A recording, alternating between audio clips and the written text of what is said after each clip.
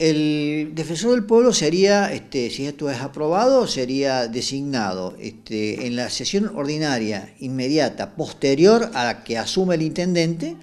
y tiene el mismo mandato que el intendente, o sea, cuatro años. Y, al igual que el intendente, tiene una sola posibilidad de reelección. Por un lado, tiene que controlar a los poderes constituidos y particularmente al poder administrador, esto es el poder ejecutivo municipal.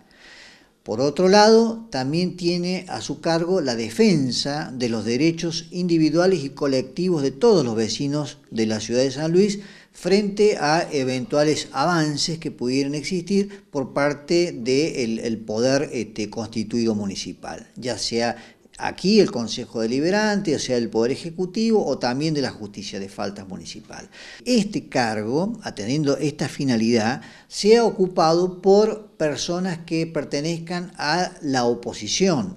o sea, que sean a propuesta del bloque de oposición que tenga mayor cantidad de concejales aquí en el Consejo Deliberante de la Ciudad de San Luis.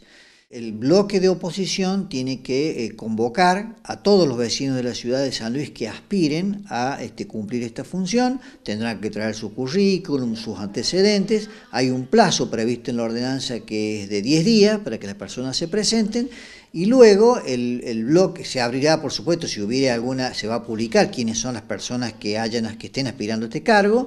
y una vez que se haya hecho esta publicación se abre un periodo de impugnaciones para que este, cualquier persona o asociación pueda impugnar o cuestionar a alguna persona o alguna nominación y luego tendrá que resolver previo descargo el, bloque eh, proponente, esto es, reitero, el bloque este, de la oposición aquí en el Consejo Deliberante.